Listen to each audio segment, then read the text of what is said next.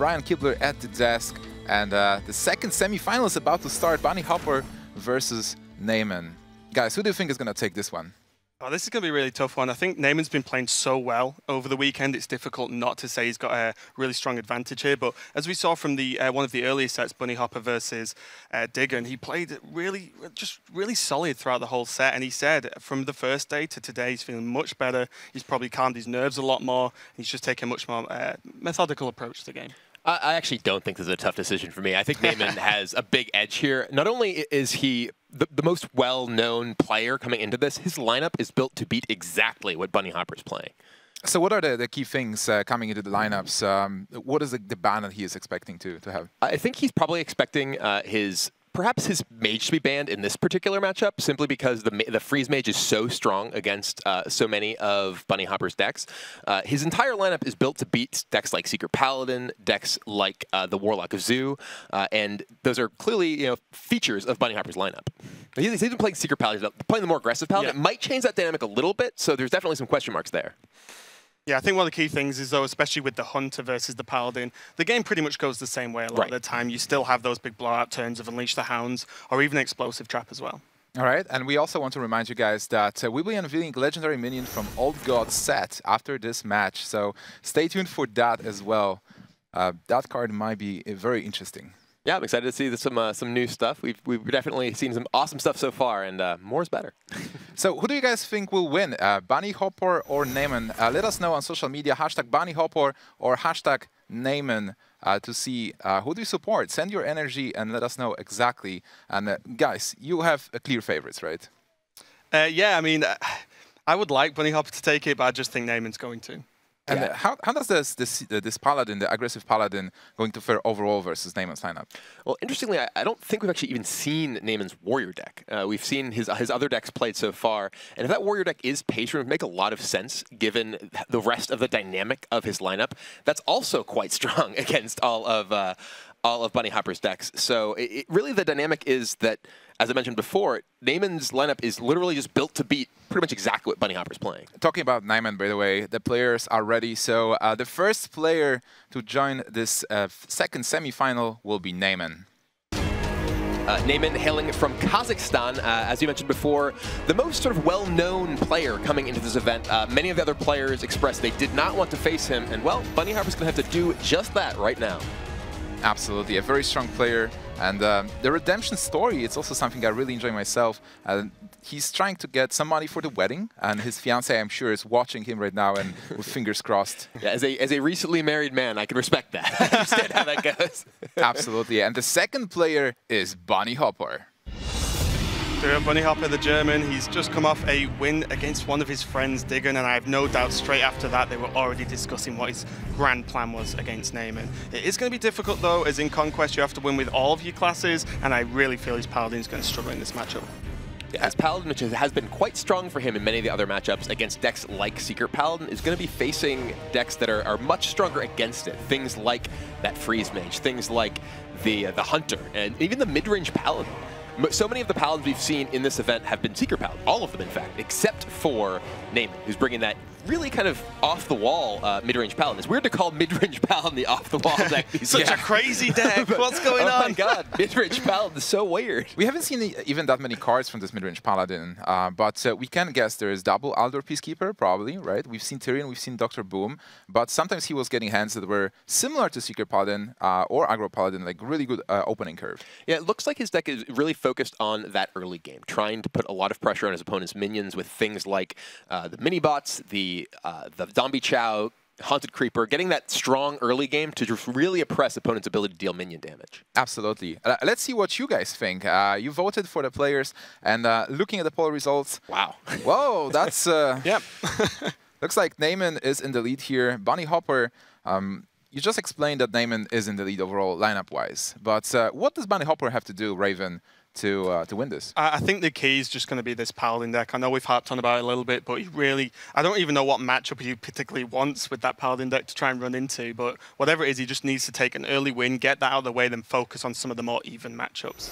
Yeah, I think that that deck will certainly struggle given the context. Uh, it's possible that that deck could line up all right against Naiman's Paladin deck. We have seen the. Uh, the aggro paladin go sort of under the Yeah. the secret paladin decks. And the mid range paladin is kind of similar, except as we mentioned, Naiman's deck has so many of those cheap minions. Zombie Chow is pretty good against an aggressively oriented paladin deck. Absolutely, and we now know the bans, so the warriors are being banned for both players. We will not see the, the warrior from Naiman. Are we ever going to see a warrior deck? I don't think we have yet. Hopefully, maybe in the final. I'd love it with something really crazy as well, like something completely off Face Warrior. Patron and, War- and we just never got the chance. We just never Guys, got the I was chance playing to see it. Pirates. You never gave me the Yeah. opportunity to play. Come on. So what does it mean that the warrior is being banned? Was it bad for uh, for Naiman? Um, like both players banned warrior at the time. My, my, my guess is that he's anticipating this being Patron Warrior, as we mentioned, and Patron Warrior is extremely strong, I feel, uh, against this particular lineup. Yeah, it's just also yet another deck that performs well versus Paladin. So Exactly, there's just, all, like I said, the key to this for Bunny Hopper is going to be winning with this Paladin, and uh, he's just trying to, you know, increase the chances of that happening in terms of lineup. And we did see that Naiman's Mage is going to be around, so that's going to be an interesting Yeah, one. Later I'm really in the happy set. to, to see the, the mage at some point, but the game one is ready, and we're going to see Paladin versus Hunter, so both really aggressive decks. And uh, who do you guys think has an advantage in this one? I think the, the Hunter definitely has to have the edge. Uh, m- much like Secret Paladin, which we've seen these Hunter decks just roll over throughout this event so far, uh, the, the Aggro Paladin, it can get on the board a little bit faster, has a little bit more of that early game, but still is is vulnerable to the, the aggressive burn and all, all the charge minions. It doesn't have cards like Sludge Belcher that some of the Secret Paladin decks saw, and we saw even with Sludge Belcher, those decks just fell behind. And also, Divine Favor, not the best card versus Face Hunter, uh, as a deck that's not really known for having a large hand for most of the game. So that Divine Favor almost certainly is going to get thrown away from Bunny Hopper, and he will hope it is the bottom card of his deck, no doubt, in this matchup. Absolutely, and uh, looking at the player's hands, uh, Naiman already having the Leper Gnome, a Wolf Rider for some extra damage, and Unleash the Hounds being overall good uh, in this matchup because of Muster for Battle and the fact that Paladin wants to have some minions to be able to pressure. Yeah, Unleash is great in this matchup. Not only is there the muster for battle, but just fundamentally, the aggro paladin deck really plays wide. It plays a bunch of small minions. Hero power even. Yeah, exactly. That's the whole point of this deck, is to play out a, a wide uh, wide range of minions. And uh, Unleash, in many cases, you know, in some cases, is used to clear those. In this case, I imagine is very likely to go phase. Absolutely. Especially because you can all, you know, in a perfect world for the Hunter as well, they can build up a board, you can play Explosive Trap Unleash, go face, and then force him to trade into you, and you just gain so much extra damage. And Haunted Creeper for Naiman here matches up very well against the uh, the Leper Gnome on Bunny Hopper's side. I, I, I kind of wanted to see just Leper Gnome versus Leper Gnome on turn one to set the pace for what's what's going to happen here. Everyone's feeling real icky, but uh, the the Haunted Creeper lines up much better. Get the, real damage. The two done. leper gnomes just keep hitting Ev- face, and everyone's it's just just like, hugging who's each gonna trade? No, no, no, here. So guys, what do you think about Bunny Hopper's position now? Uh, he has the Leper Gnome uh, that uh, will probably go to face and the Shielded Mini Bot. Um, is that okay opening or do you hope to have something else? I mean, th this is this is kind of the, the draw that you're looking for. Is you know there's just minion into minion into minion. Um, it, it doesn't happen to match up very well against what Na- Naiman has here. That that uh, haunted creeper clears the uh, the one health minions and threatens for more. Uh, the creeper the creeper's solid because it does answer the same thing from Naiman. It's going to be able to eat those one ones, whereas it would just it would just kill the uh, the divine shield of that mini bot. But uh, Naiman just has that owl uh, they just drew, which clears off the ability of that uh, creeper to spawn anything else. Yeah, and what was nice from Bunny Hopper there, he cho- I think he chose the Creeper over the Minibot mainly because a Juggler turn two would be very rough, whereas the Creeper can't it can't die creeper on creeper. Mm-hmm. Um, and then if it runs into the Leper Gnome, the two juggles aren't really going to do anything to yeah. the Haunted Creeper on that side. Also, in the very anyway. beginning of the game, I think uh, the minions are more important than damage to face. So you you are uh, you can take a couple of points of damage, maybe even go down to 20. But if you're winning on board, you will be in a good position to get that more extra damage till turn 5 and then just finish the game with Burst. Yeah, it normally works out that uh, around turn 4 is when the Hunter normally wants to hero power every single turn because you start to being able to drop a 2-drop hero power and then go into 3-drop Pair of Power quite easily, whereas the early turns, as you quite rightly said, Gnimsh, are more about just trying to solidify your board control and just, then just push on that with the extra burst damage.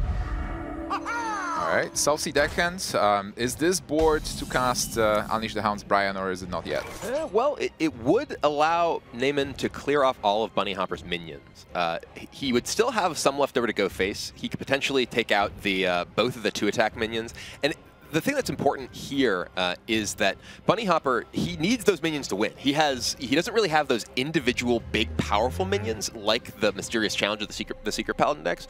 So he needs to get in you know these incremental bits of damage with this wider board.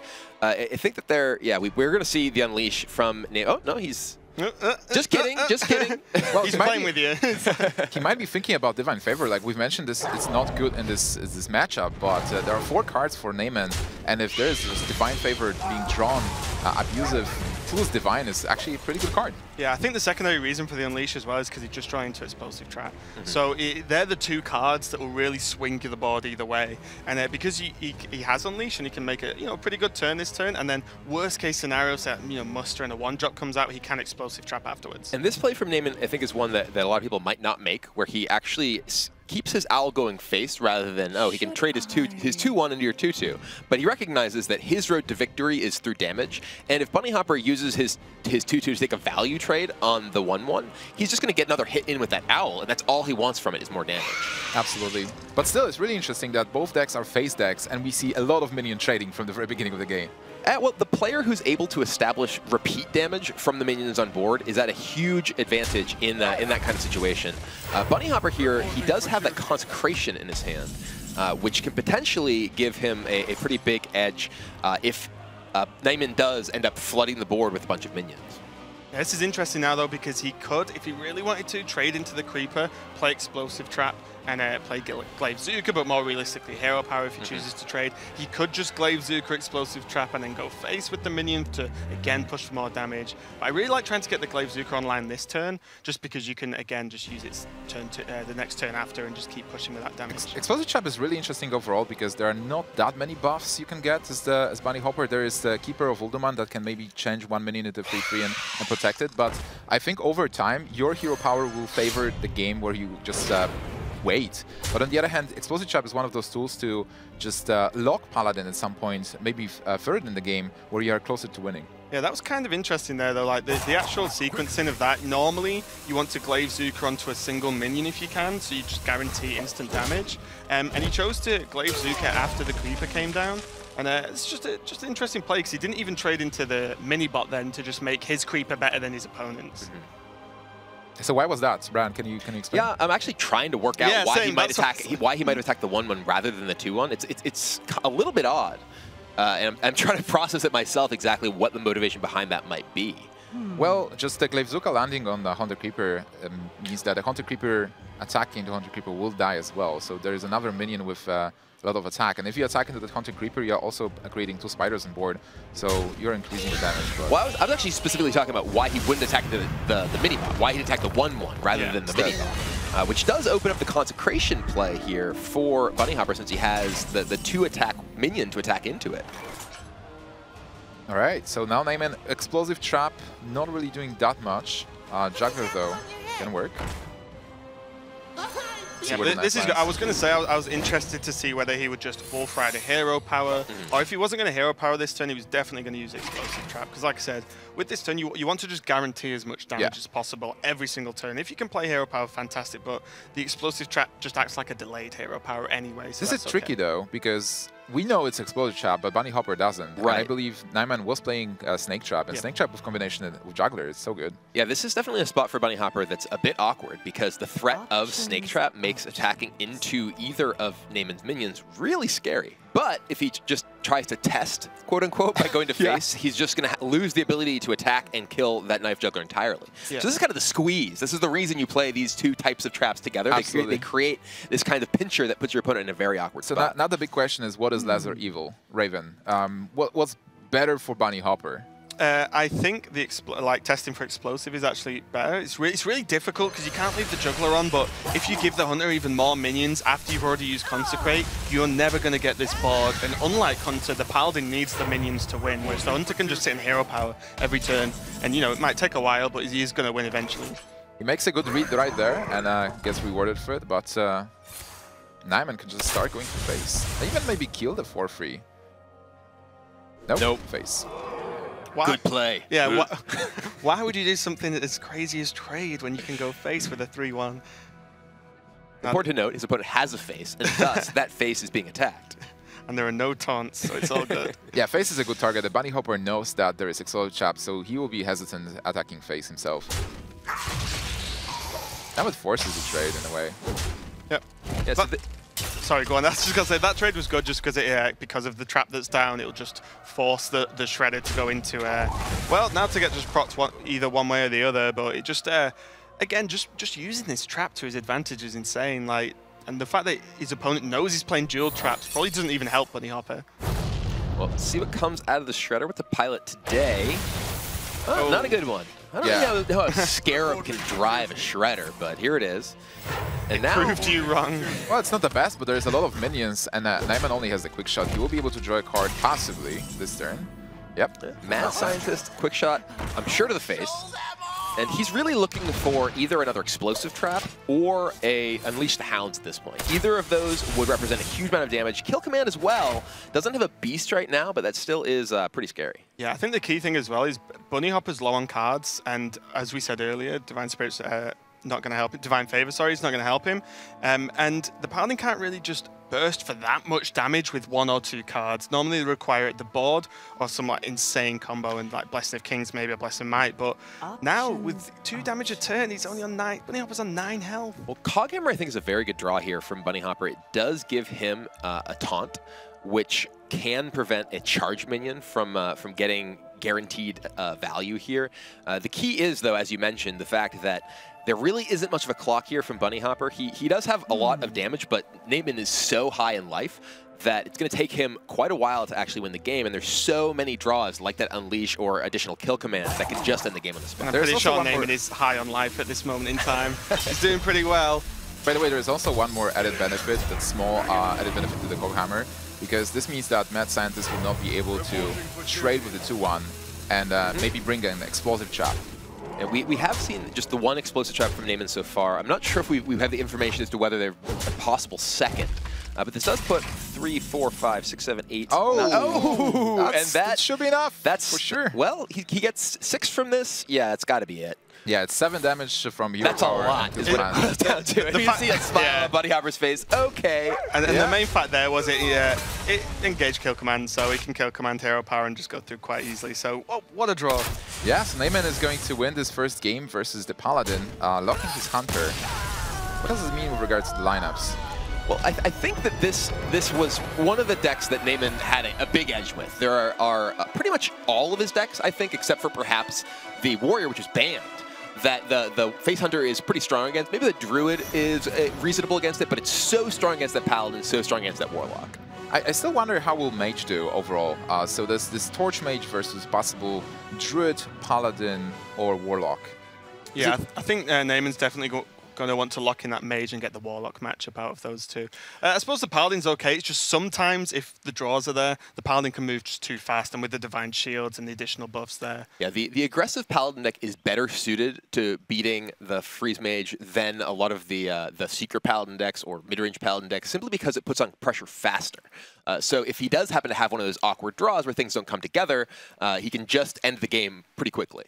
Absolutely. And uh, well, Naiman is in a very good position right now. We actually spoke to him yesterday, so let's see what he has to say.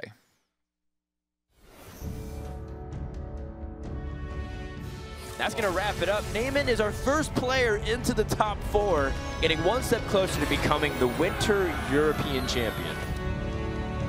The people who so- of course supported me on Twitter and like uh, social media. Really appreciate this this support and thanks a lot. I'm gonna rest. I'm gonna talk with my family, with my brother, who is my older brother, who um, whom I really love, and he's really uh, giving me inspiration as well, as well as my fiance and the whole family. Well, for the future opponents, I just say that prepare for the battle and hopefully it's gonna be a good one.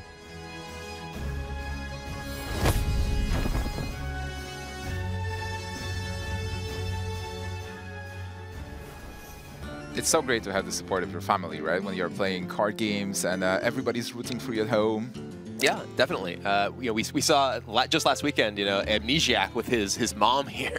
Uh, definitely, you know, I, I had a lot of support from my family uh, growing up playing games, which is pretty unusual for a lot of people. So it's, it's great to see when uh, when that sort of support structure is there. Yeah, it's- Absolutely. it's, good as well that he can uh, he just recognised that after that day, he was just like, right, I'm just going to collect myself, speak to some family, speak to some friends, and then just prepare like mentally for the next day. And what do you guys uh, think uh, Naiman is going to select now as his next deck? And uh, does Bunny Hopper stay with the Paladin, or do you change things now? I think that, that Bunny Hopper may stick with that Paladin deck. I think that it, it is probably his... Uh, oh, he does choose to switch things up. He's going to play his Druid. And uh, Naiman with that mid-range Paladin deck. Yeah, and what opening is that? Zombie Chow, Aldor, Quartermaster, and Muster for Battle. Uh, do you even keep the Quartermaster? Because it's it seems really strong Well, overall. given that he has the coin, the having the coin with Muster, you can potentially play that Chow turn one and then uh, play the, the Muster on three. If your opponent doesn't swipe you, coin Quartermaster on four can be absolutely devastating against a Druid deck. Yeah, I think that that's the problem, though, isn't it? If your opponent does have swipe, then you've just sat with Quartermaster, and it might be a bit more difficult to try and work that in in the following turns, and you'd much rather have something else. So it's a bit of a tough call. For I, for one, always feel like Druid has swipe when he needs it. so I, I would Yeah. definitely just instantly no Quartermaster. You stay away till later when I can play them both in the same turn, maybe. On Well- the, other hand, on the other hand, Bunny Hopper actually having the Innervate and Paladin Shredder, you, you you have to keep it versus Paladin, I believe. Uh, I mean, Innervate Shredder against the mid-range Paladin, I think, is substantially weaker because of that Aldor Peacekeeper. Uh, I still think it is likely, as we see, Bunny Hopper keeps it, and uh, it's still a strong play, but it, it is more open to being punished than it is against other versions. Yeah. I think as well because it because it is the shredder and not something else like uh, like the shade. Then it's you know shredder's very sticky anyway. It's going to be dealt with, and then there's still another minion to work with. I'm actually seeing Naiman did keep his entire hand. Yeah. So, So, what, he, what else? uh, he's actually on that exact that exact plan of the uh, the muster into coin quartermaster. It looks like right now his, he's going to have the turn two hero power, turn three muster, turn four coin into that quartermaster. And right now Bunny Hopper does not have a swipe. So what does what does it tell Bunny Hopper? Like your opponent is playing mid-range Paladin and he just kept full hand. it is definitely. Uh, it's definitely scary because anytime your opponent doesn't mulligan, you're just like, wait, did I miss it? You know? but if you're if you're intently you know staring at that hand, like okay, trying to keep track, which is an important thing to do because it does give information. Uh, it, it's got to be it's got to be definitely pretty scary to figure out what could be there. Yeah, and I think in terms of mid-range Paladin specifically, it almost always tells you in this specific matchup that the Paladin can curve really well. Because it's not like in other matchups where, as Warrior, you keep Death's Bite in certain matchups Yeah. just because it's good, but it doesn't necessarily mean the rest of your hand is going to curve perfectly. You might just have Death's Bite or Patron, but in mid-range Paladin, they're not really looking for anything too specific against Druid. They just want to curve out and then overwhelm them. Yeah, we actually see Bunny Hopper choose not to go with that innervate, and I think from this perspective, uh, it, given his hand, I, I definitely like his choice there. If he did just innervate out that Shredder, especially if it happened to get Peacekeeper, he has no play for several turns. Absolutely. It's, it shows only that he knows really how to play the Druid. A lot of uh, people who are not experienced with Druid, they would innervate first to be able to have a minion on board, but then they just struggle with the curve. And here Bunny Hopper will be able to, to react. But Yeah. overall, this matchup is is good for, for Naiman. And uh, what does Bunny Hopper need to do to, to be able to win? Well, here he, he still has that innervate. He can innervate out one of the fives. I assume it's going to be this uh, Druid in bear form that gives him the Shredder on four. So he still has a, a, a pretty strong curve here. Uh, not quite as strong as it could be, but Naiman here, I- I'm curious if we're going to see the if he sticks with that muster into quartermaster plan or does just choose to Aldor this uh, innervated bear. Well, it seems like even if he Aldors, s- those minions still do not contest the bear that much, and the bear is, uh, keeps to be annoying. If he goes for Master, he has that way that we discussed before. Yeah, and I think if I'm honest, he manages to pull off the muster with the coin quartermaster. It could actually sort of seal the game out pretty early. There's still no direct removal, maybe force of nature, but that's still a fair few turns away for the druid, so that could just overwhelm him. Oh, what was I? Forget everything I just That said. He just swipes him. Never mind. Yeah, That's that it. was the nightmare for Naiman there. Uh, exactly the card he did not want to see. The swipe will clear off his entire board, and I have to imagine Bunny Hopper goes for it at this point. Yeah, that's uh, absolutely that will that will happen, and uh, that's a great play. But on the other hand, even after the swipe, it's still still not that bad for Naiman overall because he can just kill the bear next turn and uh, maybe coin this the Belcher into The, Belcher. the thing is that we haven't seen that much of this deck from Naiman. We have not seen Quartermaster yet, so it's possible. And Bunny Hopper does play it safe, go for the swipe. Doesn't want to get coin quartermastered, but It makes sense. it does. But you could imagine a world in which he's like, oh, I, you know, I haven't seen this card from his deck yet. I'm not going to necessarily play around it, and does just, oh, I'm going to play a Pilot Shredder. Yeah, I think the idea there was because he could push for four damage with the bear and then almost certainly guaranteeing an additional four with the trading next turn. Like suddenly the Paladin's on 17 and the Druid is untouched in this match. So, and, and he's slowly edging towards those turns. He can drop Shredder next turn, and then as soon as he lands onto Boom, he's already threatening lethal almost every single turn from the Druid. Yeah, but still, it seems that Naiman has in a really good spot right now with the Sludge Belcher into Sludge Belcher, and, and Belcher itself just counters the Shredder next turn. Uh, he gets Living Roots. Is it okay to play it just uh, as one-ones to be able to contest uh, the, the Belcher? I, I, this, I- think that Bunny Hopper's position here is pretty poor. I, I uh, particularly given that there is that Lights Justice on the other side. The the Shredder and then and then the uh, Living Roots does not look pretty, particularly appealing to me. Uh, and then Naiman, he's he is at pretty high life total here. You know, or rather, uh, Naiman's a pretty low life total. As I say, exactly Yeah. opposite of what I mean. 17? What? Hey, as long as it's not zero, right? It's fine. So uh, this is you know, still a pretty strong spot for Naiman. Has the second Sludge Bait Belcher, is able to remove those uh, Living Roots. And uh, you know, I, I'm curious exactly what we'll see. Yeah, just goes face here. Yeah, I, I like that. The, the, the minions are going to die anyway because there's things like hero power. Do, does really the killing the 1-1 worth more than actually trying to deal some damage to Bunny Hopper? Because although Naiman's looking really good at the moment, he still needs to finish the game out. Ooh, Absolutely. Uh, that is interesting. Yeah, can he hit with a knife into the free one? I was wondering whether he was going to Force of Nature then instead. Yeah, Just was, for the additional juggles and potentially clear the two bigger parts of each Belcher right. I, I was actually thinking about that, but I think that given the game state, the fact that that Naiman is down so low, holding on to that Force of Nature in case you draw a Savage Roar is uh, definitely pretty appealing.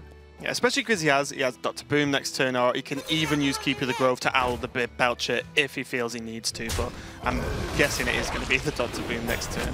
Yeah, but there is this equality uh, from last turn, and uh, it might work really well versus Dr. Boom and the bombs as well. Yeah, I think the only issue with the equality is it's the, the boom bots are the real threat now, I think. Dr. Boom can be dealt with with the Aldor Peacekeeper or equality, but if the boom bots hit face for two, then Naiman's going to need some healing if that Savage Roar gets top deck. Speaking of hitting face, Naiman, you saw roll his eyes there as all as so many of his knives go face when he really needed one of them to, to and one hit a more of minion. them to hit a minion. Now he can't clear both of these. Yeah, so it, it's really Should weird I? because if he attacks uh, with the weapon into the 5-1, that's uh, he drops to 11, and he was already low, but at 11 it's, it's really dangerous versus the Druid because then maybe you don't even need the combo to finish the game.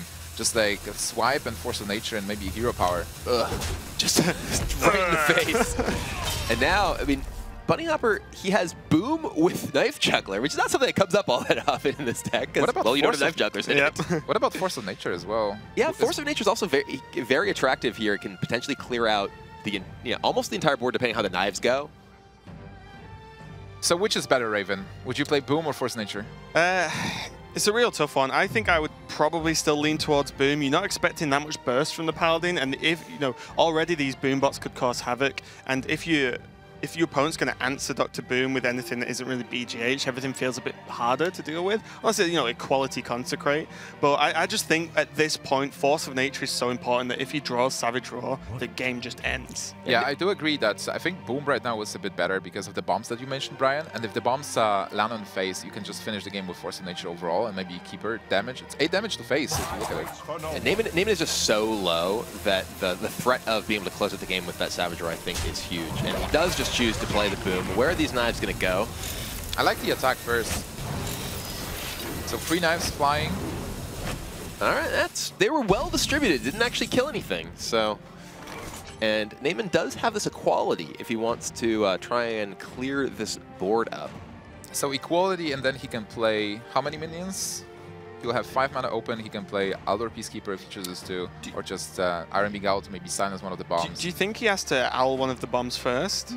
Because, you know, equality isn't going to It affect the owl real that much. Uh, and, you know, having the additional minions on board for the other bomb anyway, I don't know. I just feel like a boombot to, for, like, to face for four suddenly opens you up to a lot more options. Like, you just die to Force of Nature. It's also kind of scary to use the equality here when y- you kind of need your board a little bit, and yet he does choose to go with the owl on the boombot. And uh, oh, one boombot down, that guy took four to the face.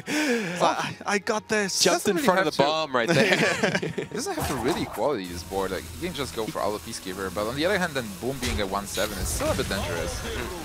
Yeah, he, he's going to go ahead and save his equality. It, it, looks like he's he's already in such a bad spot if his opponent does have something like Savage Roar, or rather, Savage Roar, yeah. that the additional body is not really going to be a terribly big deal, and he can save that if his opponent plays something else pretty big. Well, the idea here is if he has combo, he wins anyway, so why do you need to equality, oh, right? But the silence effect from the uh, getting the, the Aldor silence here is actually just going to close out the game. Nice, guys. Yeah, yeah, yeah, yeah, so good.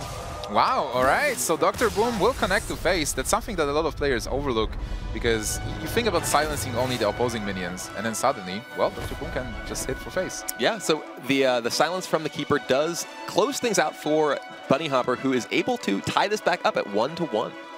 Okay. So now Druid is out. Um, is was that the deck uh, that was threatening Mage? Not really. We've we've seen uh, Mage actually winning versus Druid before. Yeah, uh, I think the uh, I think the faster mage deck that's becoming more popular now. I think it's Laughing's list originally. Uh, it just fares much better because it doesn't give the druid as much time normally. But you know, druid still do, does pretty good, right? It's one of the decks you do want against freeze mage, regardless. I, th I think that we've seen some kind of anomalous results from some of the druid versus freeze mage matchups so far uh, this event. I do think that the druid is still favored even yeah. against this version of freeze mage. But as far as decks for Bunny Hopper to win with, druid is probably the the least uh, least threatening for Naiman at that point. Absolutely. So we are at 1-1 for now, and we got a chance to speak to Naiman about getting a second chance in Hearthstone and a shot at redemption.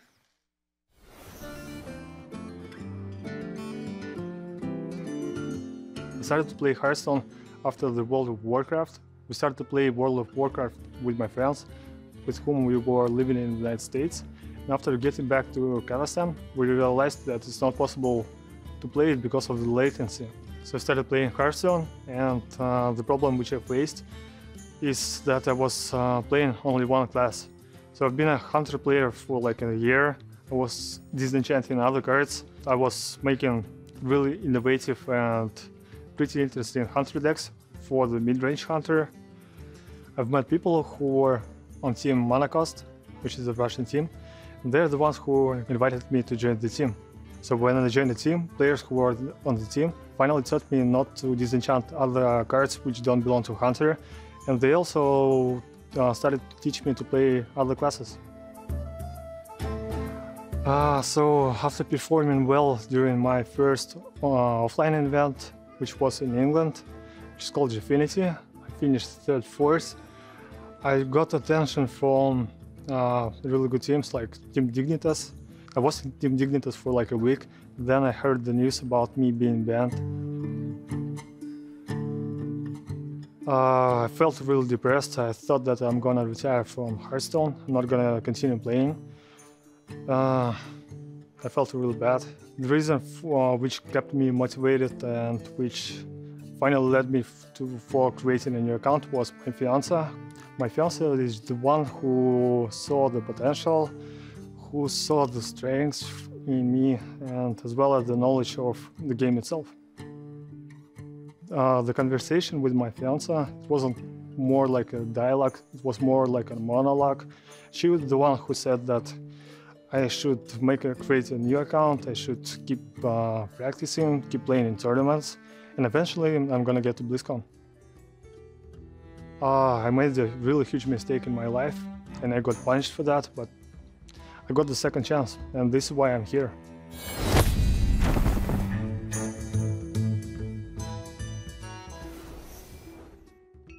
I've actually met Naiman at Gfinity for the first time, and uh, he was already a great guy right there. I, I, had high hopes for him, and it was really unfortunate to see him uh, disappear from the stage. But uh, now he's back, and uh, he's rolling. He's here in the second semifinal, uh, really close to advancing to the final himself. Yeah, he was the player who was really the favorite uh, for among many uh, many sort of pundits coming into this event, and uh, has not proved them wrong. He uh, you know made his way through the groups two and zero, and uh, you know now just needs to get through Bunny Hopper to make it all the way to the final. I was interested as well because he was actually um, talking to him before the event. He's like, "Oh yeah, I'm just super confident. I'll be fine." I'll make it. And it's just like, oh, okay. And so far he's, he's doing just it. Confident, so it's like, just like that. It's just not often you see like a lot of the super confident players actually, you know, cash in on what they're saying.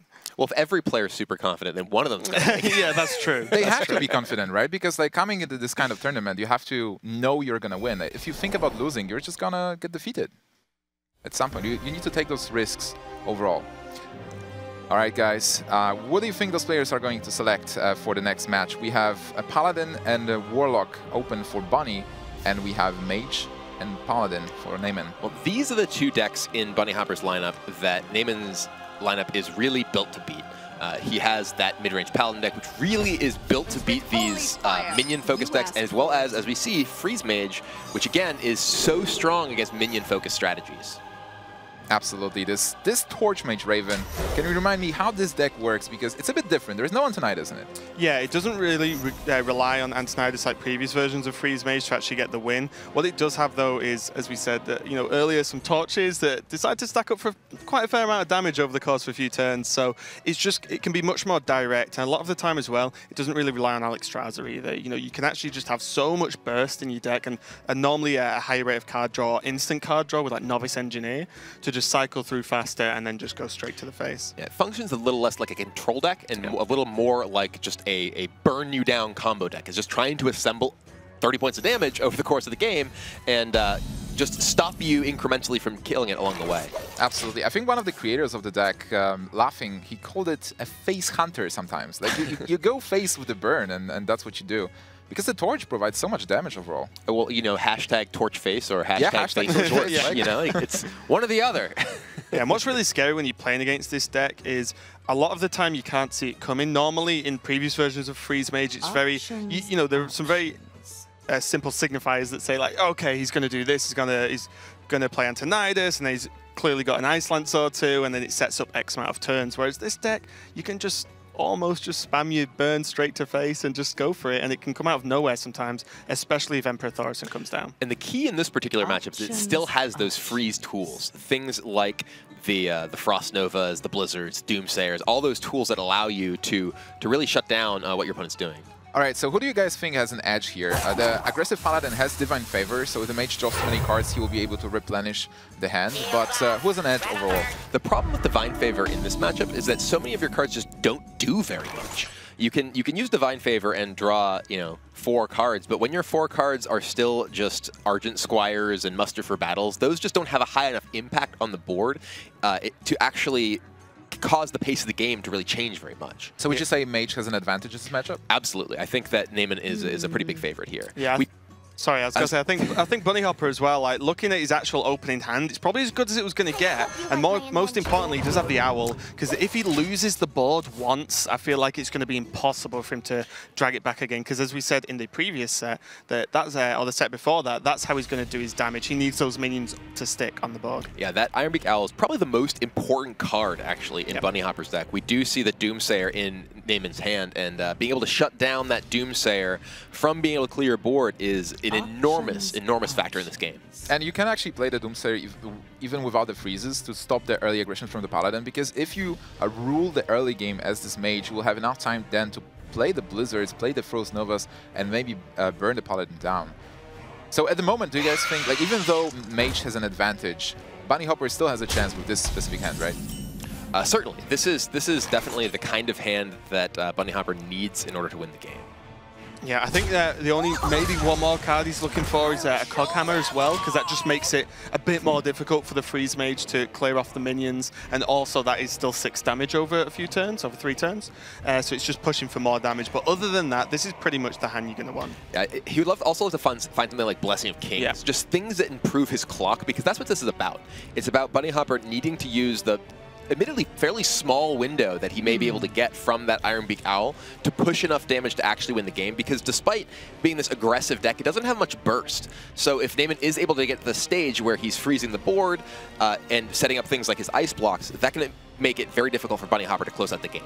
I think this turn overall is uh, pretty good for him, and he, he is thinking if uh, he wants to overextend mm. or not, but uh, I think it's fine if you play most of the cards um, because there is no Cone of Cold in this Mage deck.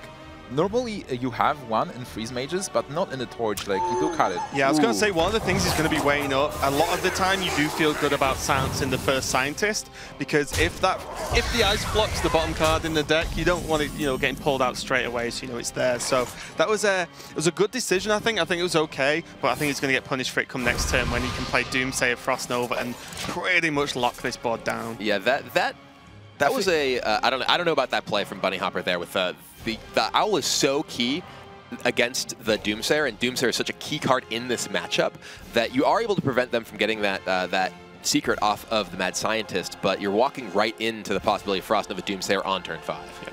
Uh, why do you think he played it anyway? Maybe he thinks like this matchup is so bad that he just has to hope there is no Doomsayer Frost Nova? Yeah, I think that's totally reasonable too. I think that he may just you know be hoping that that this gives him a, an aggressive enough position that he's able to win the game if that combination is not there. But uh, for Bunny Hopper, it's going to be very unfortunate that this is exactly what Naiman has. Yeah, and to be fair to Bunny Hopper, like look at Naiman's health. He's on Mm-hmm. 16, and Yeah. if he if the freeze wasn't there this turn, and it's it happens, you know, the, not all freeze mages have Frost Nova Doomsayer on turn five ready uh, ready to go. But if he didn't have the freeze, then he could push for so much more damage next turn and just close the game out. Yeah, absolutely. And uh, if that owl was there in the hands and just stopping the Doomsayer it would be devastating for... Well, not really that devastating for Naiman because he still has the Blizzard, but... Yeah, I think one of the things as well is if he didn't owl the scientist, maybe the scientist draws ice barrier, so then he's on eight more health anyway. So you know, it's really it's, it's difficult. He did get punished with the Frost Nova Doomsayer, but I completely understand Bunny Hopper's play there. Yeah, sometimes you, you know, when you're in a uh, playing a matchup where you feel like you have a significant disadvantage, sometimes your best option is to take these very high risk plays and simply hope your opponent doesn't have the answer. And now the big question is, uh, what can you do now? This is exactly what Naiman wanted. Clear board, not much pressure, ice barrier, plus 8 health. So it looks really good for Naiman. Yeah, the the uh, muster here is kind of food for the acolyte pain. Is the really the really sad thing for Bunny Hopper here.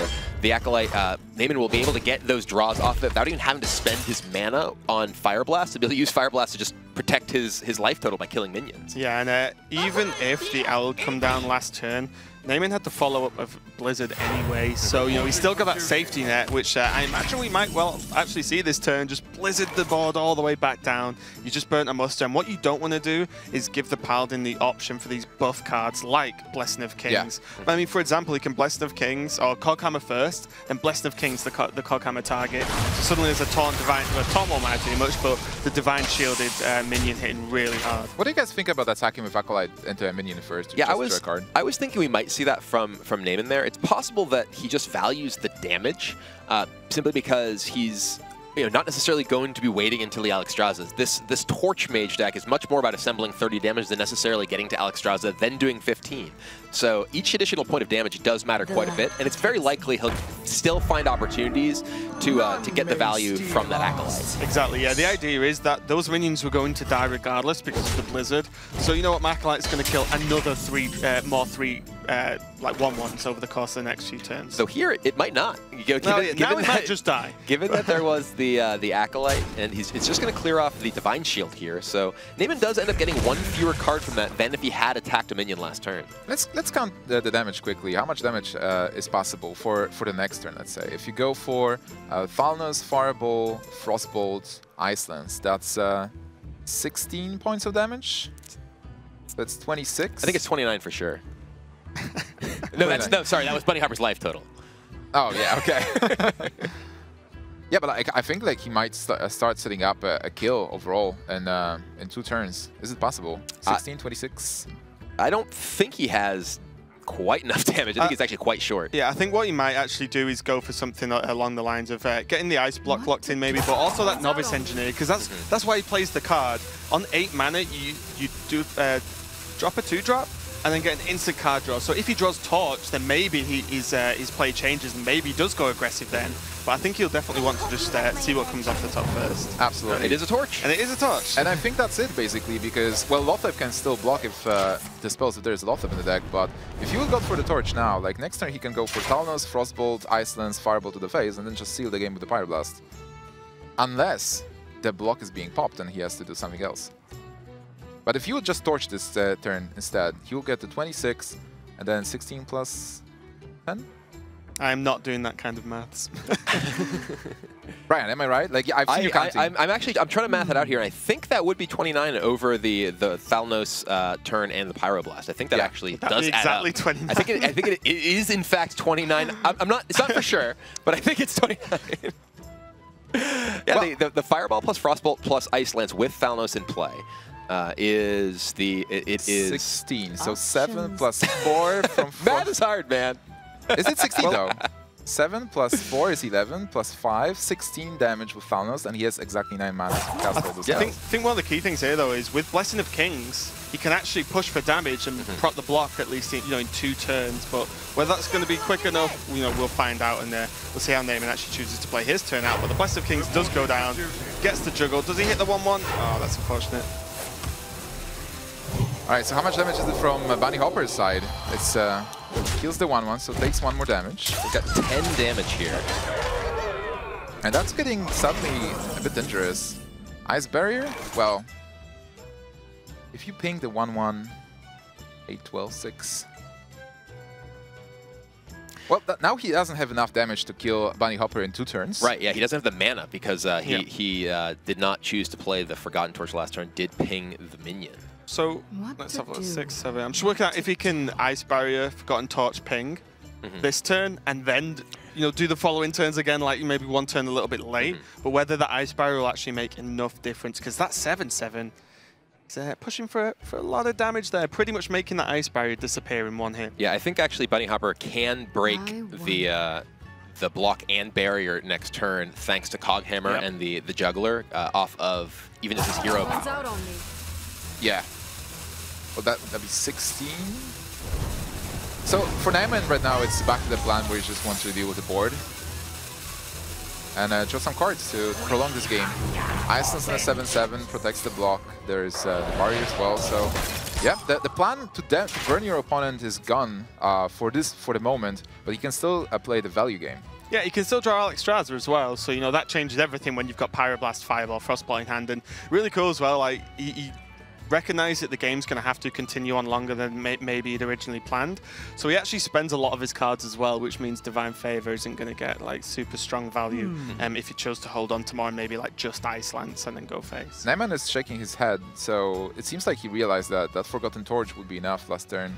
Uh, but to be fair, uh, you are stressed playing at this stage, and uh, when your opponent is at 20, what was it, 28? 29. 29. 29, like For sure. Can you Yeah. really like think, hey, I just have lethal in two turns? Should Yeah, I think the thing as well is it it is quite difficult to look three turns ahead in ways of dealing 29 damage over three turns. You know, that's not a very straightforward thing to do, especially when you're under so much pressure in a match like this. Absolutely, but it only shows the power of this of this Torch Mage deck.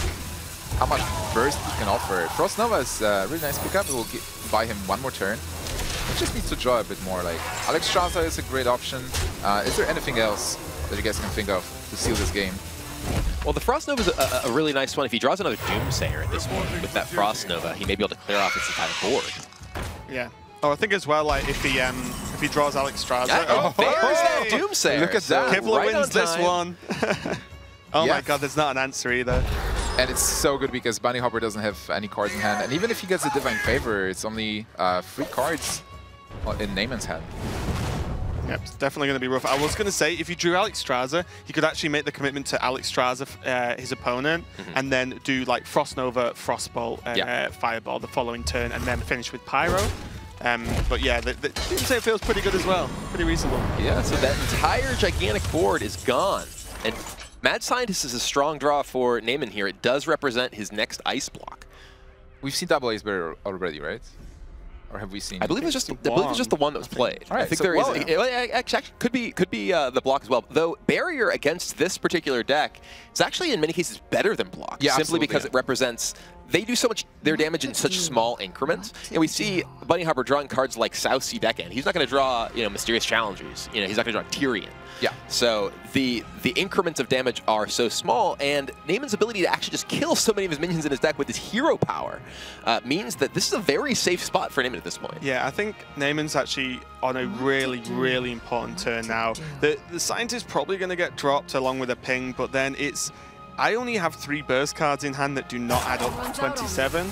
Um, do I just have to use my mana and go for it and just hope I will cycle into more, or do I have to hold on and hold on? Because the problem is, and here we go, he's gone with the Pyroblast, okay? Oh, because man. he's decided that he might not draw Alexstrasza for a long, long time, and he might have other ways to finish the game. Asserting dominance. Ooh. And there is this Divine Favor, so three more cards. Let's see if this is going to be Argent Squires and Muster for Battle, as we mentioned. Consecration is 2 damage. She's a mini bot, not bad. Sir Finley. Oh, wow. That's an interesting one. If you get Steady Shot, that yeah, would be steady really shot annoying. could be pretty huge. And also, bear in mind, like you said about the Ice Spire, against this deck, it's you know a lot better because a lot of the minions just chip away uh, at the health. But with card, card like Consecrate, you can actually uh, bypass that if you proc the block low enough. Absolutely. Especially if he also gets steady Yeah, shot. steady shot on top of that is insane. Let's see what uh, let's see what he's gonna get. There's no way you don't. Oh, is he weighing up whether he hero hmm. powers first, then plays Finley? Yeah, if he, if he hero powers first, first, then plays Finley, then he can't use the new hero power. Ooh, armor up. Would you ever go for armor up? Armor up. I, that's totally what he wants Yeah. here. Because Naiman's deck is looking to assemble a certain total of damage, and that makes that a lot harder. Yeah. And, and also, because of the Pyroblast, Alexstrasza does almost nothing to Bunny Hopper now, beca- Yeah. and- but he can still heal Well- up past it with the armor. Well, Alexstrasza does put Naiman to 15 and puts an 8-8 in play, which would be a big deal. That is something, I guess. I think the most important part here is that Bunny Hopper not only puts uh, Naiman in a position where he has to defend himself, but also tries to protect himself at the same time. Because overall, um, Naiman will have enough damage in this deck. I think it, it has oh, like 52 damage, like 50 true damage uh, across all the spells with the torches. But, um, well, 19 is not easy to go through. Yeah, the problem is time. Naiman Yep. may have a lot of damage in his deck, but because Bunny Hopper has this pressure on him, uh, he doesn't have anything close to the time he needs to assemble it all. All right, so now what do you do this turn? Do you just slam Thaurissan uh, and get your block pop? Like, I don't think it does that much. Um, Mad Scientist is probably what you have to do. Yeah, Scientist does represent uh, a uh, ice block or ice barrier at this stage, either of which is very important for Naiman. Uh, though he does just choose to go with the Emperor. This this is does give him the ability to just play his entire hand in a single turn. He can, if absolutely necessary, play the Scientist and kill it himself. Yeah. The, the problem with playing the scientist that turn actually is he could have killed the um, he could have attacked him to low enough, then killed the scientist, and then That's used true. consecrate to actually finish Yeah. the game afterwards. Well, Consecrate is uh, enough here to both kill the Thaurissan and pop the block. So a really good move from Bunny Hopper. And uh, Naiman hoped that Thaurissan might maybe survive and deal some extra damage there. But um, it's going down, and uh, the block will be popped at one. So we might see the Mad Scientist Frostbolt into Mad Scientist to buy one more turn. Yeah, what's going to be a real struggle though is, uh, especially with this armor up hero power and the drop of the shredder, buying yourself one more turn doesn't necessarily mean uh, Naiman can actually do anything about it because almost no matter what he draws, he's just going to instantly be behind anyway. Yeah, he doesn't have the uh, the power of ooh, Blizzard is nice. Yeah, it does actually actually- stop the board and buy some time. He does not die with this Blizzard here. He, he's able to freeze the entire opposing board. He can play that Mad Scientist. I think you though, ha I think you have to go face though. With, with your spells, like you can play uh, Blizzard, Mad Scientist, and still have some mana left. Mm-hmm. So I, I think you almost have to just torch Frostbolt. I think it makes sense. Uh, it puts a Forgotten Torch in back to your deck uh, that will be able to deal 6 mana. You can still draw into something like Alexstrasza to bring you back to 16, uh, try, uh, to 15. Try to continue freezing the board, but then we've seen we've seen one Blizzard already, and we've seen seen double Frost Nova, I believe. Yeah, Naiman is, is really low on ability to uh, continue. Well, he does just ping and Blizzard Mad Scientist. So what and does odds now? Frostbolt to face. This protects him from a possible uh, Coghammer or Must for Massive Battle killing him. And this second, is cons- nice. is second consecration in the deck? Probably not. I think mostly play, uh, people play only only one. Leper Gnome. Oh dear. Uh, so he needs Alexstrasza now, right? yeah. Uh, he pretty much needs to draw Alexstrasza at this stage. He could draw. Uh, no, he can't even draw a. a oh! oh! my God! that is and that's a huge timely. Alexstrasza. A, a huge draw that is huge on the screen, Do, appropriately do you appreciate a dragon of that Absolutely. size, Kibler? I think all dragons should be that size. It's only appropriate. I think a second Ice Lance was possibly an out as well to just Iceland's Leper Gnome and kill the rest of the board. Get something uh, easy to kill from from Pilot Sure, but Alexstrasza is definitely That is game crazy. That was pretty much. Oh, and she, she was flying and then landed on the board. I mean, that was, was pretty glorious. much the only card that gave Naiman a good chance yeah, of winning no, this, this, game, is this right? is this is suddenly a game. Yep. Not only does he is he back at 15 health, but he has this 8-8 in play. And the, the problem is as well, he needs the juggle from the Shredder to kill the Alexstrasza, Right. if that's the route he ta he's taking, because he ah, can't hero power for an additional juggle. Oh, Wow, this is, talk this is really a tough for turnaround. Bunny Hopper. This game has been absolutely crazy. Yeah, a roller coaster of emotions. Okay, so if he he needs to kill Alexstrasza and just go for long game. Oh, and the light light well. It's a- Naiman is just laughing there. Total wrench in everyone's plans. New card. I'm, Yeah, that- I'm starting to get a little bit worried how long this game will go on for because it feels like both players are just extending so much. Well, this is, uh, we see 12 damage in Naiman's hand, but the problem is that Lightwell has to die. He has to kill that Lightwell. Fireball Lightwell. And then you torch the 3-2 and keep You the... can attack into the 3-2 if you want, but yeah, this, You this could, you actually may want to keep your meta. This is Yeah. a, a very Yeah. bizarre situation of Freeze Mage perhaps wanting to keep the repeat damage Yeah, of the Mad Scientist in play. Yeah, I think you, you just torch and a scientist on the zero five and then frostbolt maybe ju- just the uh, the juggler to get it off the board and then just go all in on drawing those second uh, the roaring torches think for you the want extra to- burst. I think you want to keep the Frostbolt for second Ice Lance, I believe. So that's why Torch into Juggler and Fireball into the 0-5. Uh, two, da free- two damage to face and pink face. This is the weirdest game I've seen in quite some time. It is Yeah. awesome. Yeah, it's absolutely amazing. And I, I would never believe that the this this kind of paladin, such a great chance. Oh, he's just going face. okay. I suppose he's hoping that al- although the light oh he's pinging oh, the yeah. light well so so, pinging, yeah. pinging the light well does mean that it can potentially heal itself, and it does. It does. Oh, wow. So he does counter that. Oh, there's the second consecration. Well, that's this is interesting because it does get rid of the repeat damage source. but it gives him another secret. But now this Lightwell's in play. Such a scary mid He just has to ping the light well every single turn and hope for Yeah. the hope for the best.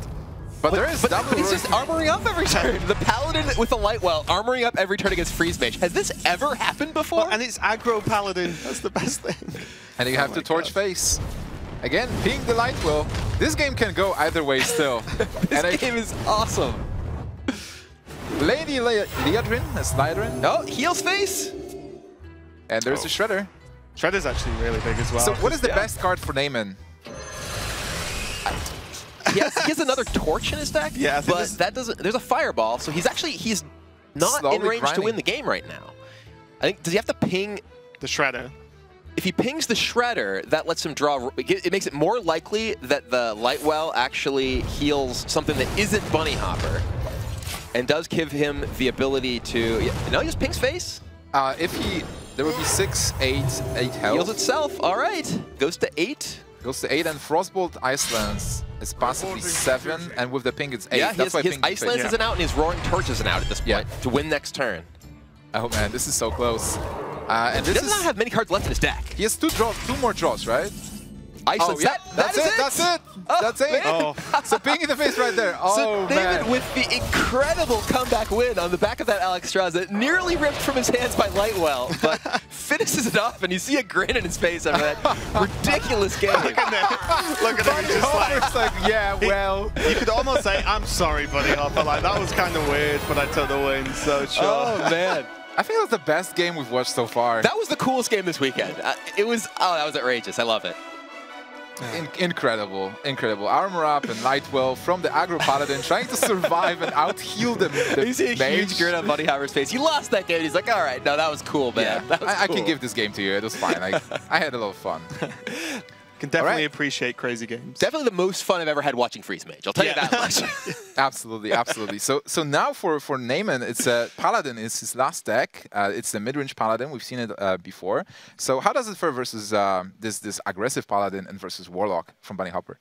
I, c- honestly, I can't really say exactly how it matches up against aggro paladin. Mid-range paladin versus aggro paladin is not something that we've seen in a while now. Uh, there's you know certain new cards and dynamics that could certainly change things. I, it is for sure uh, favored against the warlock deck. That's the reason that Naiman brought it to this uh, to this event, it, and also because it's uh, its matchup against the secret paladin as well.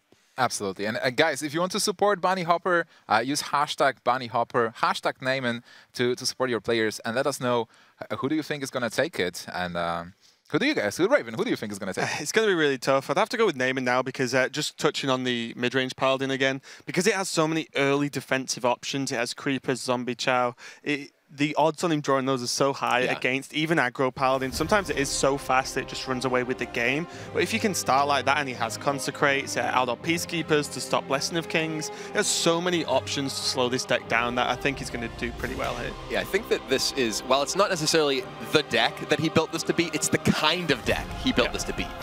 Absolutely. All right, guys. Um, another game is starting. 2-1 for Naiman so far this mid-range Paladin, will it shine the Paladin Wars? Well, that Zombie Chow in his opening hand is perhaps the most important card uh, that allows him to pressure his opponent's early minions. Uh, this is just a great hand for Yeah. Naiman Oh, here. wow, yeah. The, That- the Zombie curve. Chow into the Haunted Creeper, and then the uh, the Acolyte of Pain. Again, this is one of those matchups where Acolyte of Pain is fantastic because it not only threatens your opponent's one health minions, but also draws you deeper to morph cards. How important is it to, to go first or second in this matchup, Raven?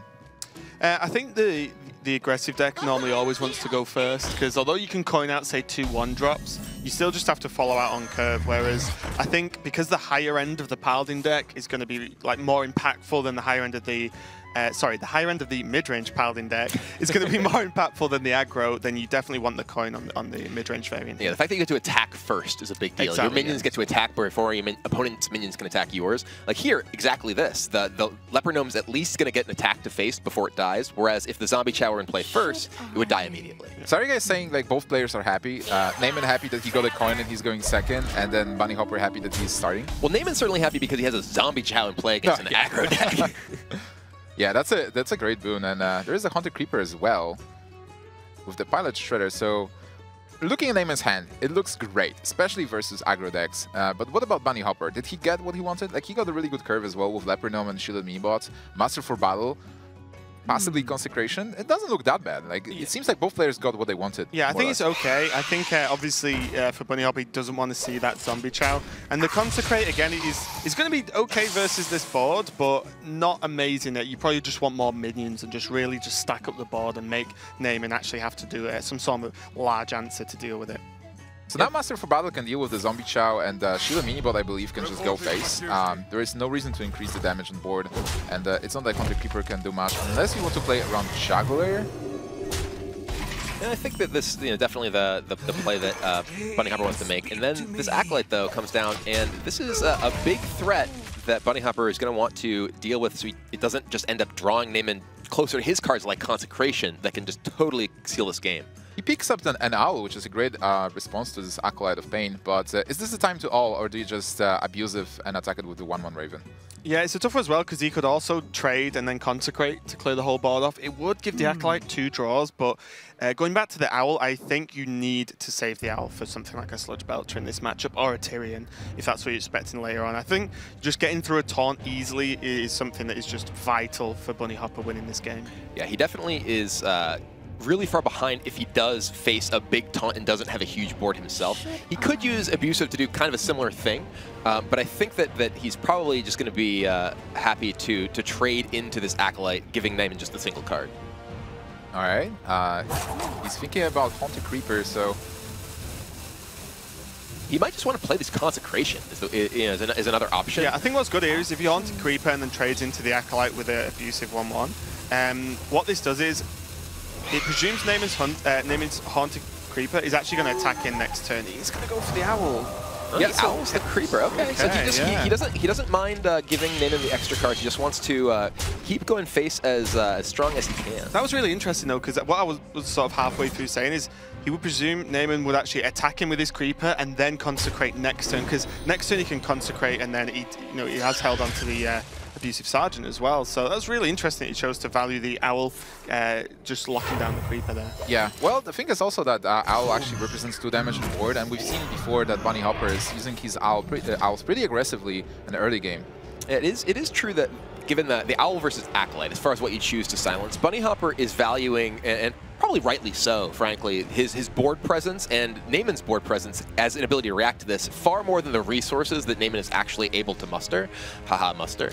that wasn't even intentional. You didn't even me at laugh myself. then, No, uh, I, I it's totally in- unintentional. That's why I, I uh, unlaughed at myself. But but no, and here if if Naiman had that uh, that creeper, it would be able to attack into one of the one of the minions and then potentially threaten the other minions, while the uh, acolyte simply draws him more resources that Bunny Hopper is hoping to end the game before he has a time to, to leverage. Yeah, because to be honest, like Bunny Hopper is the king of the early game, and if uh, Naiman has more cards, he still is limited by the mana crystals every turn. That's an interesting tweet from uh, IMCVH. This is a Paladin mirror without a single mysterious challenger here in the semifinals. We've been saved. It's pretty amazing. Yeah, that's that's create a new meta game. Yeah. Uh, so the abusive plus consecration is going to wipe off uh, Naiman's entire board here. Okay. Uh, there- um, but there is a second Sludge Belcher that Naiman killed off the top there. Yeah, but the Bunny Hopper still has Loatheb, which is a, a really good card a- as a follow-up. Uh, but then, yeah, Sludge Belcher is blocking that damage. 15 health, no heals for now for Naiman. And, and what's kind of crazy about this is if there's a Divine Favor draw, Oh! Oh, guys, come on, that was it. good. I didn't even see the card. I, I uh, think it's still correct to play the Loatheb. Yeah, th this turn, but what this does is your opponent's on 15, you play Loatheb this turn, continue to push, and then the, the Divine Favor just almost guarantees you the follow-up. You draw so Yeah. many cards. Was this the long-term goal with not silencing the Acolyte? I- I did, mean- did he know it's like Divine Favor is going to come into hand at the perfect moment? Well, I mean, if I, we It's a don't know point. if he's playing one or two Divine Favors. Yeah. You know they have Divine Favor in their deck. We haven't Yeah. seen two in a game, uh, but But that's you, really you smart Can, yeah, you can you can rely perhaps on drawing into Divine Favor before your opponent does have an opportunity to dump their entire hand. so, Absolutely. Uh, I yeah, like this worked out very well for Bunny Hopper. I like Loatheb here, and I think you should attack with the 2-1 at least uh, into Belcher. Or do do some attacks to maybe play uh, around Consecration a bit. Oh, he's Yeah, just I- clearing it. Yeah, I think clearing Yeah. is fine because at the end of the day, even if it makes your overall board, say, uh, a bit more weak because it's just like one ones on the board now, uh, but you just have that Loatheb, and that Loatheb is so much damage on its own and difficult to deal with, especially because spells won't be um, that much of a problem on turn six after a Loatheb. And there is that Consecration, but uh, overall, oh wow. Some healing good juggles Shiniba. there. Seven damage incoming. And there is the All Divine right. Favor as well. Well, there's going to be four cards for Bunny Hopper here off this Divine Favor. Four cards for free mana. That's a good deal. Not bad, not Seems bad. reasonable. Better, Yeah, better see. than a prep sprint. The Creeper, Muster for Battle. another there is the second Divine Yeah. Favor. So as we were saying, the uh, you know the, the fact that Bunny Hopper has the two in his deck makes that that sequence of plays he made uh, definitely make a lot more sense. Absolutely, but the Coghammer is a, a big card here. Not only it fits the curve, but uh, it can also deal with the, the Juggler. And um, if, if it lands on one of the cards, it, it will be a taunt, so can protect this board for now. Yeah, this is really nice, and I actually wouldn't be surprised, other than killing the Juggler. Oh my god, it went on the Loatheb. That's amazing. Um, other than killing the Juggler, I wouldn't be too surprised to just actually go all face Yeah. here. He's got so much damage. He has another Divine Favor because he can probably splurge his hand next turn onto the board as well, so... He's he got, goes he's got to pick the. Divine Shields off so the uh, the mini-bots do die and present again just less onto the board, but he's in such a good position now. So what can Naiman do? Well, it's a pretty rough spot for him at this point. He doesn't have anything like uh, an Aldor for that 5-5. He's facing out a lot of damage, just 10 life. He could use his Ironbeak Owl and both of his minions to clear off Loatheb, but that doesn't leave him in a great spot regardless.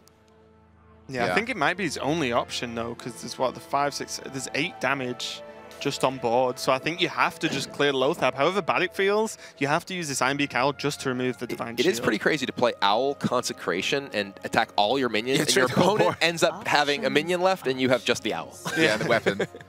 Yeah, Have we seen Lay on Hands from Naiman at all? I don't believe we've seen him draw it. No. Yeah. We've seen it. We've seen a heal bot. We've seen a heal bot. I think So the thing as well is deck. because he's playing so many early cards like double Creeper, double Chow, uh, all those early minions, he has to make space for it somewhere. And I think Lay on Hands might well have been one of the cards that was Yeah. cut from the deck for that. Well, and even decides not to not to just throw his entire board away and uh, just plays the Shredder here. Another Coghammer. Well, it can work. Uh, but is there something he can... Can he draw cards and draw into those uh, free remaining damage? Not really. Well, the problem is he, he can draw, but it would have to something like muster, creeper, draw, but then Yeah. he can't have any He, mana he left can't to really play, play the card. so- and uh, I mean, he, he could just, you know, he's at 24 life. He can just go face with Loatheb and the the uh, the weapon if he chooses, then play Master? everything else. He can Yeah. play. He, he can, well, he could play. Uh, it depends whether he wants to keep the, the two Yeah. attack weapon or a one attack weapon. He can guarantee a divine shield on the Loatheb if he plays Coghammer first. Yeah. So it's it's a bit of a weird spot. I think it's uh, overall a great spot for Bunny Hopper for now. Oh, well, certainly yes. Uh, if there is a Tirion, does it solve the problem that Naiman, had? But, uh, but even though, I want to get back to the Naiman turn, where he could kill uh, Loatheb with the Consecration. I think Pilot the Shredder was a bit better there because he, he was playing to win, not playing not to lose. Yeah, I, I definitely like Naiman's play. As I, I was discussing how just how depressing his turn was. we Yeah, talking about it earlier. Uh, he's, he's definitely putting himself in a uh, in a better spot going uh, going with this route, but not great right now. Uh, there is still that Consecration that maybe can work. Well, consecration will potentially allow him to uh, to clear through some of this because the, the Loatheb is behind a Divine Shielded Taunt, uh, Naiman can't actually get through and kill the uh, the Loatheb easily. He can he can attack uh, one of his minions into the Divine Shield, cast the Consecration, then attack the Shredder into the Loatheb. But there'll still be the, the two minions from Spiders. the, the yeah, spiders he, as well. He could actually use Keeper of Uldaman on the Loatheb as well, so it Yeah. only requires a 2-1 and not the Shredder as That's well true. to That attack. is So- true. but it depends how he wants to manage the board, because sometimes Shredder's actually better because it trades and you still get a minion afterwards. Yeah. Yeah, he's a lot of options here. All right, so he's going for the keeper to save his minion. Yeah. And be able to trade into Loatheb, I believe. Okay, this this actually works out very well for him. He can trade the the, the 3-3 into the... Uh, or no, he, he does choose to trade the Shredder. He has Oh, an Armor wow. Smith. That's so what good. is it with these drops? That's, that's actually pretty huge. Yeah, it uh, it will provide him with extra health, and for now he didn't have He, anything to do. he, he would have been dead. He would have Yeah, died he if it weren't for die. Smith. He would have been dead to that abusive sergeant. He can still die. There is a demon can still for two die. cards. Oh, we see, we see something looks like pointing at that. something. It- Blessing of Kings. We see a Oh, bit of a grin on Naiman's face, realizing that he saved himself just briefly with that Armor Smith. But we are going to be going to Game 5. Game five for those guys, and the last decks for them will be this mid-range paladin for Naiman and the warlock for Bunny Hopper. And uh, who has an advantage in that match?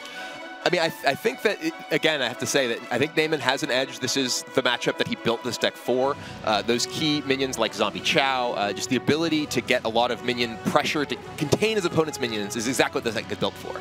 Yeah, and I think as well, because we saw a big game hunter, we've seen Aldor Peacekeepers, Keeper of Uldaman's, Sea Giants aren't going to be too much of an issue for him either. I, I just love the the emotions of both players because this is game five, and the winner goes to the final and has a chance to qualify for the World Championship, and the loser is eliminated. And it's, it's so close from that final, right?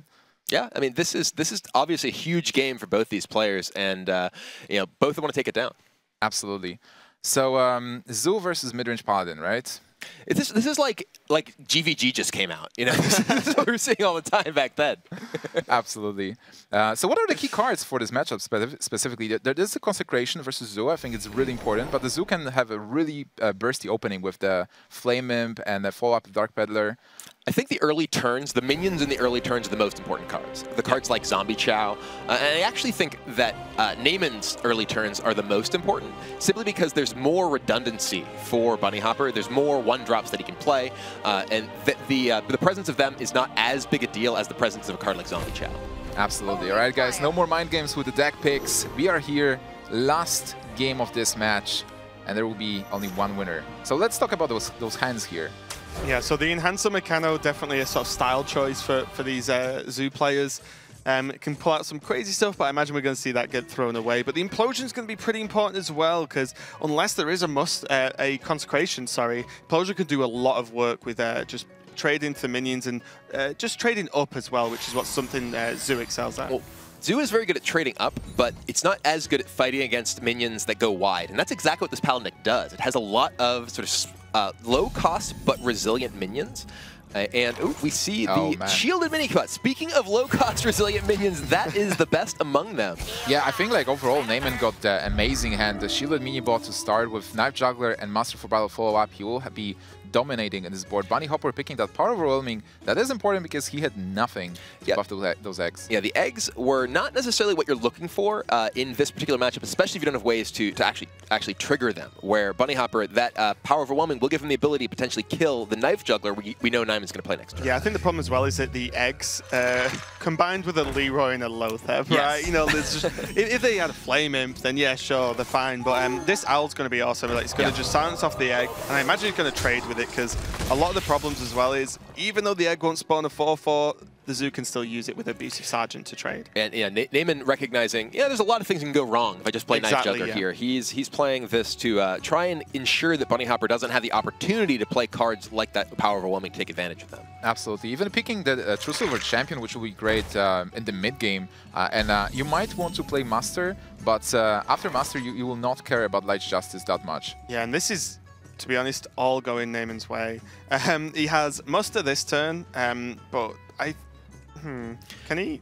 Oh, Can no, you just okay. kill? Uh, I can actually play Aldor, I think, uh, unless you really are afraid of the Sea Giants. But uh, if you just kill the egg, play Aldor, and uh, and keep pressuring. That's a good I, I think the only thing is you have True Silver next turn for for the 4-4, so I think you don't need to rush it too much. I kind of like Mustard because you want a big board, as you said, Brian. You, you want to build the board up against Zoo because they have no good ways of dealing with it at all. So you build the board up this turn, and uh, you can True Silver down the egg next turn. He's going for the Peacekeeper. This is really interesting. Well, this this does allow Naiman to uh, just continue to push for damage and develop this board. It will leave his uh, his owl open to getting killed by this one four here.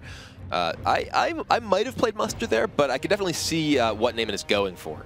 Absolutely. I, I mean, it played around power overwhelming, and it, if, when you see double Nerubian, like, you can't expect power overwhelming in the hand. And power overwhelming killing one of his, you know, killing his owl on board. You get a 4-4 that you'd play the True Silver into. Yeah, I think one, one of the things that might have uh, lent, lent him towards that line of play was the fact they had Knife Juggler as well. So turn five, it's like a, a mini Juggler Unleash the Hounds, right? So it's like he can play Knife Juggler and Muster for battle on turn five to actually clear up some of the lower minions. So that might have been the line of play. Yeah, one big thing with that specifically is that that's a great answer to an opposing implosion. Yeah. That uh, Naiman here, he's clearing out his opponent's board and just you know spreading uh, spreading as wide as he can. Again, playing around those minion into power overwhelming buff style starts, and uh, this is looking great for Naiman. It's looking uh, amazing for Naiman, especially because Bunny Hopper has a lot of reactive cards that Zoo has that require some kind of board, like Gormok, uh, and Enhance-o Mechano, and Leroy, which normally you do not play Leroy, especially if there's a, a there's a juggler on board. Uh, a really tough situation for Bunny Hopper. Yeah, and this highlights one of the main reasons that the community seem to be very split on Enhance-o Mechano. Sometimes you just win with it, you know, you just drop it down on a big board, it's game over. But when you don't have that board in the first place, it's very, uh, very lackluster. But that's actually a great description of every card in Bunny Hopper's hand Yeah, right pretty now. much. Oh, and, Gormok. And, Oh. and this is this is precisely why this deck that Naiman is playing is is very strong in this matchup because he's able to prevent the Zoo deck from being able to assemble this strong board and uh, you know, just able to pr- keep those cards just dead in their hand. And look at this damage. Like Naiman should have lethal next turn with all those minions and the True Silver Champion and con Consecration on top of that. Can Bunny Hopper survive next turn? Uh, he, he did just draw a taunt. That that that does something. That, that's a thing. Um, I think the problem is, Wow. I think the problem is, even if Bunny Hopper survives, I think it doesn't really. All it will uh, will delay the inevitable at this point because um, Naiman can pretty much ignore a lot of the stuff Bunny Hopper does that anyway now because he's just so far ahead. That True Silver does so much work.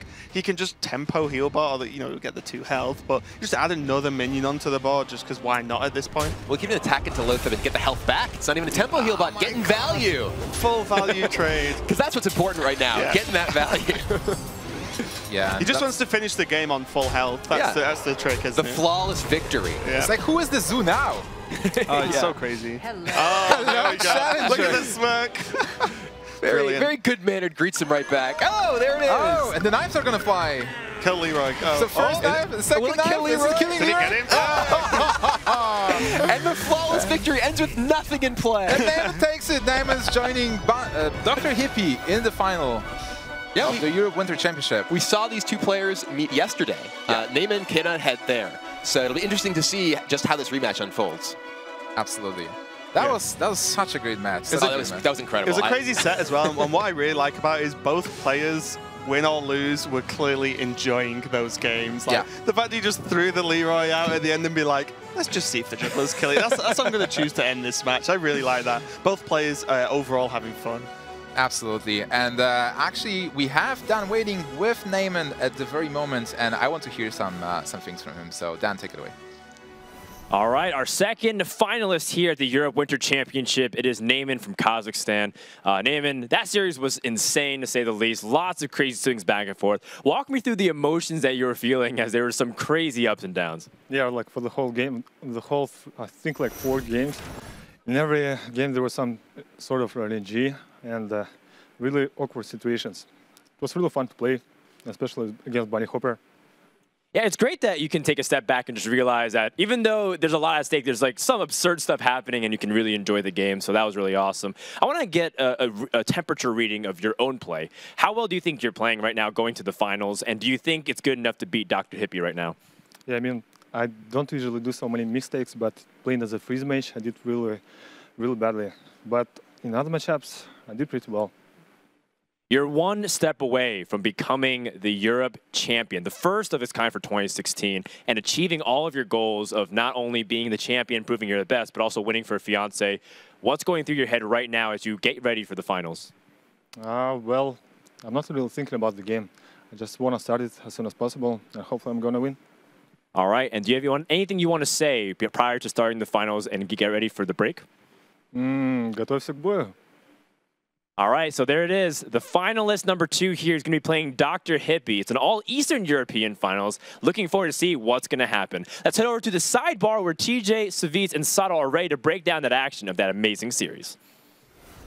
Thank you very much, Dan. Once again, a big congratulations to Naiman. That was one of the greatest best of five series that I've seen in a long time. I think Naiman summed it up uh, pretty perfectly in saying that uh, a lot of awkward moments that made for uh, a really fun match. We're going to get into the analysis in just a second, but in order to properly be able to analyze this first clip that we have, I have to ask you guys a very specific question.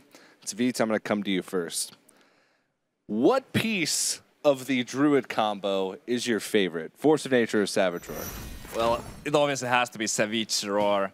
Such a great card, such a powerful card. All you need to do is have a couple of minions on the board, and that's six damage for uh, for three mana. Or you can combo it with the Force, but Roar is the key card for sure.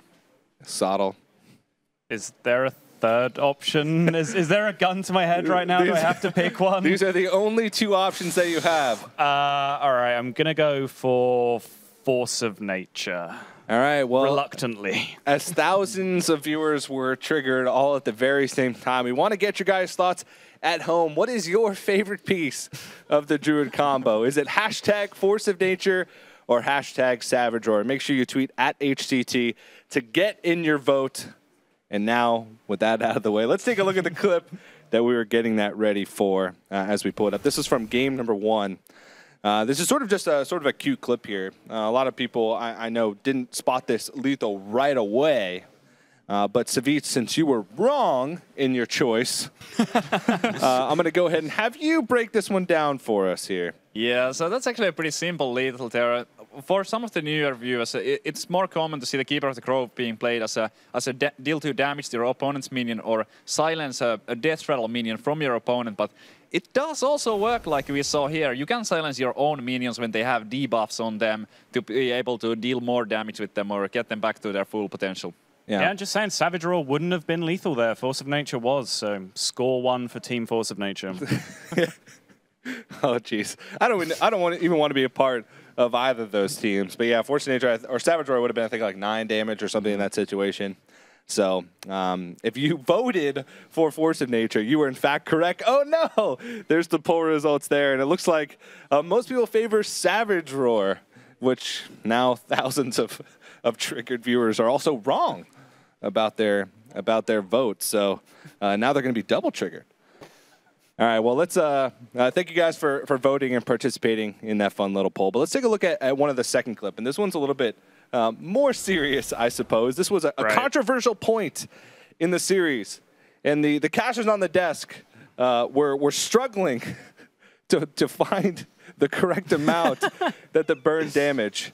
So, uh, Sottle, I'm going to have to ask you here uh, because we were talking backstage during this clip and you were right. counting aloud very angrily. Yeah, there was a, a, lot of confusion going on here as to how much mana they had, how much damage everything did. So you see the Novice Engineer gets played here, draws the Roaring Torch, but that's not relevant. The, the maximum play on the following turn with 9 mana is Blood Mage, Fireball, Frostbolt, Ice Lance, which is 4 plus 5 plus 7 16 damage, followed by the Pyroblast the following turn, which is 26. So what he could not have done is the two-turn burnout over two turns, but Savjz, you may be able to discuss something a bit longer than that. Yeah, we're gonna we're gonna freeze it right here, so you at home can count the exact amount of damage as well. Savjz, why don't you go ahead and break it down a little further? So that play that the, the casters also analyzed quite a bit. So if he went for the roar instead of the being last turn, that would have worked out brilliantly. There would have been 3 plus that 26, and uh, there's no true silver champions in that aggro paladin. Instead, he's playing two Coghammers, so that would have been an amazing play. But, but what happened from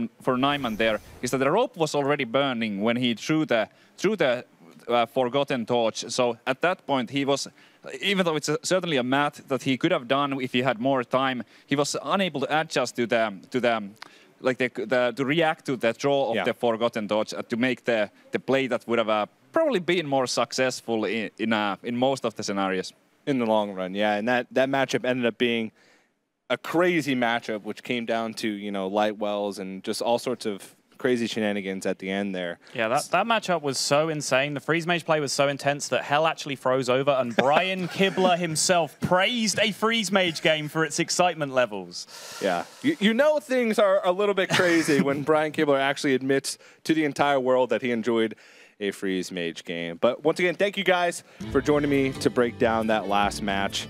We do have the grand finals coming up, but before we have the grand finals, we do have a very special announcement. We are going to be revealing the brand new Whispers of the Old God card uh, right after uh, we take a look at the highlights from that last match.